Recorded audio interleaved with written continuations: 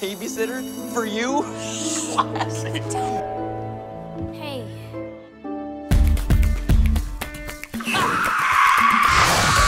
It's not what it looks like. You're a freaking vampire! Okay, so it is kind of what it looks like. Did anybody ever tell you you are a really bad babysitter? I'm new at this.